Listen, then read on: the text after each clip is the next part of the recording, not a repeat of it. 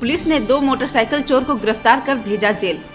पलामू ज़िले के चैनपुर थाना में दो मोटरसाइकिल चोर को गिरफ़्तार कर जेल भेज दिया। जानकारी देते हुए थाना प्रभारी अक्षय कुमार ने बताया कि 22 अप्रैल को बरसतिया कला निवासी सरफराज खान मोटरसाइकिल चोरी होने का मामला दर्ज कराया था, जिसके बाद पुलिस ने अनुसंधान जारी रखी और पुलिस को कामयाबी भी मिली।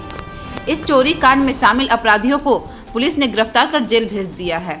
वहीं चैनपुर दर्जी मोहल्ला निवासी अलीमुद्दीन अंसारी का पुत्र बुस्ताक अंसारी एवं हुसैनी मोहल्ला सापुर निवासी अलीजान अंसारी का पुत्र नसीम आलम का नाम चोरी में शामिल है।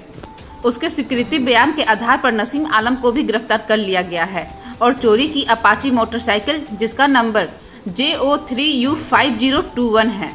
वहीं इस छापेमारी दल में तुलसीदास मुंडा, थाना प्रभारी अक्षय कुमार, एसआई अमन कुमार, सहदेव सिंह, दिलीप कुमार का नाम शामिल है। गढ़वा शहर में खुला Shri Hari electronics, TV, fridge, cooler, AC, सभी प्रकार के ब्रांडेड कंपनी के इलेक्ट्रॉनिक सामान किफायती दामों पर, मेन रोड गढ़वा।